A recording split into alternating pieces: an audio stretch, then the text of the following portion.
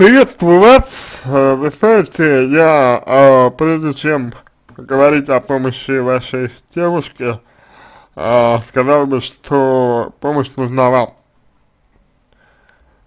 Не очень здоровая, не очень психологически здоровая позиция быть спасателем для другого человека. Спасатель это прямой путь к зависимости и прямой путь к жертвенному поведению для вас в том числе. Поэтому э, первое, что нужно вам сделать, э, это изучить треугольник Карпмана, возможно, для того, чтобы увидеть а, свою роль в этой истории, что в этой истории роль, ваша роль спасителя, девушка жертва, соответственно, другой человек, это тиран, которого вы, вы ее спасаете. Никакой личной ответственности никто не несет, ни девушка не несет ответственности, ни вы не несете ответственности, ну, разве что этот человек только несет ответственность. Вот. На первый взгляд может показаться, что я его оправдываю, на самом деле нет. Просто такая ситуация возникает как раз, когда у людей есть перекос с ответственностью личной. Вот у девушки, например, э, есть перекос в личной ответственности своей, своей. вот, и юный возраст здесь ни в коем случае не оправдание, потому что, значит, э, влю, влюбляться, да, и а, в отношения вступать с человеком, это нормально в юном возрасте. А нести ответственность за то, что отношения могут не сложиться, уже нет. То есть, ну, двойные стандарты какие-то, да, получается. Вы э, своим действием, своим поведением, а на самом деле только лишь культивируете у девушки ее такое вот э, состояние. То есть вы всячески э, как бы это так сказать, вы всячески возвеличиваете, если угодно, ее а, страх. Вы всячески возвеличиваете ее страх, потому что вы делаете на него скидку, на этот страх. То есть вы ведете себя так, как будто страх этот есть на самом деле. Вот. А в действительности же страх существует только в сознании, в сознании девушки. И все. И поэтому, когда вы ведете себя так, как будто ее страх реален, вы подтверждаете э, факт наличия ее страха. И тем самым мотивируете ее к тому, чтобы она и дальше продолжала, продолжала бояться. Получала от этого выгоду, а вы получаете от этого свою выгоду. И вот вся выгода Александра в том, э, весь вопрос, точнее, Александра в том, почему вы являетесь для девушки спасателем, что вы получаете, какая вам выгода от этого, это первое. И второе, откуда такое эмоциональное отношение к, ну, к ней, то есть вы волнуетесь, переживаете и так далее. Вот это вот излишнее взятие ответственности, да, на себя за нее. Это что вы на руках ее готовы носить и сделать все для нее готовы, это все вот признак, признак зависимых отношений как у нее, так и у вас. То есть э, вам, Александр, в первую очередь нужно э, менять свое поведение. Если вы хотите помочь девушке, если вы хотите ей помочь, меняйте свое собственное поведение. Переставайте вести себя так, как будто у нее этот страх есть. Хотите поцеловать, поцелуйте. Хотите что-то еще сделать, сделайте, это ваше полное право. Вот если девушка не хочет этого, да, не хочет с вами целоваться, не хочет там, не знаю, близости, чего-то еще, не хочет отношений, как вы говорите, то вы-то можете сказать, что я так хочу, она скажет, ну, я хочу, я понимаю, ну так что? Ну так вот, давай обращай, обратимся к специалисту, может быть вдвоем, может быть ты одна, вот. А пока вы поддерживаете ее страх, э, смысл, мотив ей какой, что-либо менять? Ее все устраивает, она получает от вас то, что ей нужно, вот. Вы получаете то, что нужно вам окольным путем через игру спасителя. И все, все довольны.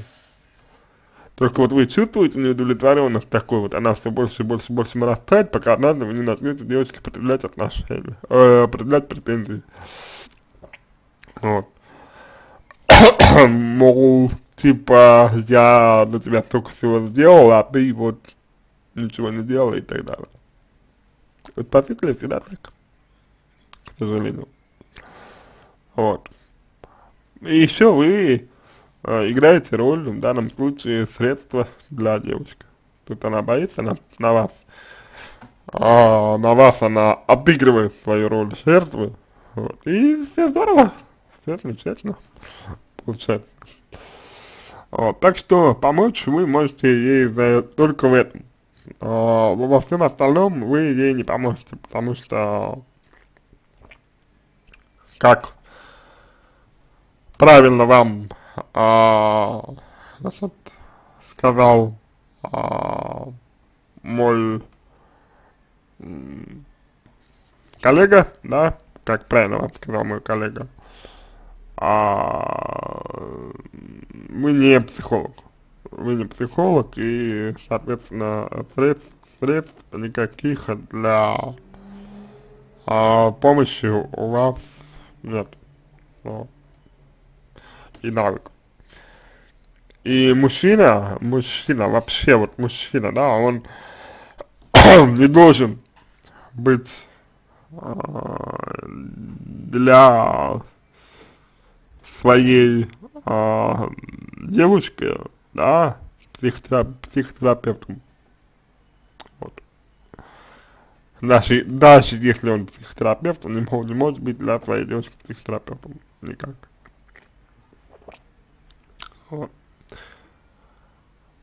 Потому что, ну, как бы, это вот необходимые условия для отношений.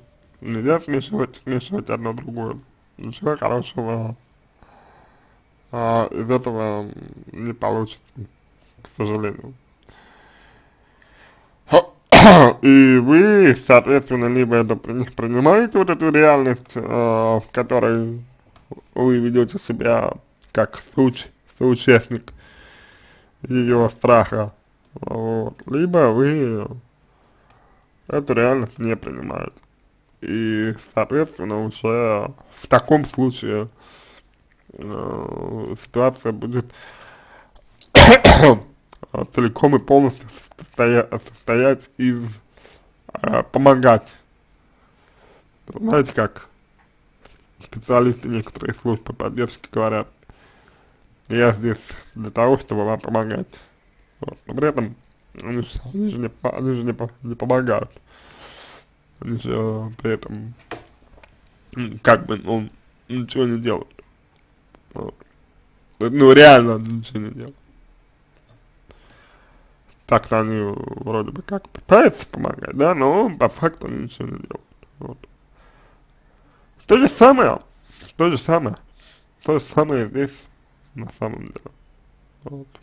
Ну, то есть вот именно, именно с вашей историей.